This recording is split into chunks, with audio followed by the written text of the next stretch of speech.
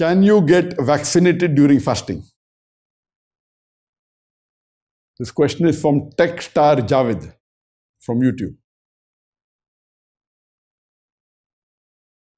As far as injections are concerned when you're fasting, the ruling is that you cannot take injections which are containing nutrients. For example, you cannot take injection of glucose, it contains nutrients, but taking injections which do not contain nutrients, it is permissible. Vaccination, but natural, doesn't contain any nutrients.